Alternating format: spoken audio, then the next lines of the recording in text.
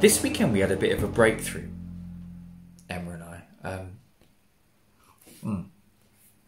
um, Emma's my partner, and because we've been getting pregnant, and the inevitability of what was about to happen to us finally got through to us. Um, okay, it was Emma's birthday this weekend, and all of her family, all of them have bought books about pregnancy, about about having a baby.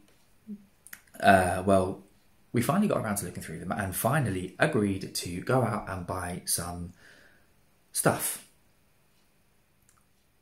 Frightening. really. Um, so we have a room. We have a room now. Um, I mean, formerly it was just used for stuff, but now it's it, has got a it's got a chest of drawers. Yeah, it's curtained. Uh, there's a changing mat. It's all polythene wrapped. It's it's daunting, isn't it? uh, we have a date. We have a date. Yep, the uh, third of November. It is within thinking distance. It's I mean it's there. Yeah.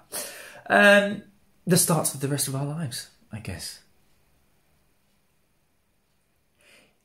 You see, um, going to sleep with like a heavily pregnant lover was not something I was expecting to be doing at this time in my life. Uh, I mean, it's great, really. Um, I mean, your arm's not quite big enough to fit around two people, and there's a lot of feelings of like inadequacy, obviously, in this.